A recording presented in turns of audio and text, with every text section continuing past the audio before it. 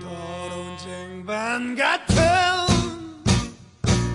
태양이 창문 틈에서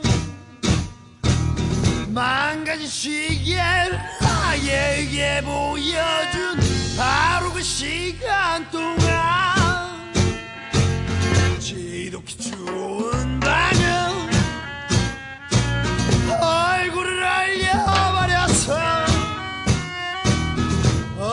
마지막 표정을 상세히 이렇게 보관하네. 막차를 타고 집에 가다 잠이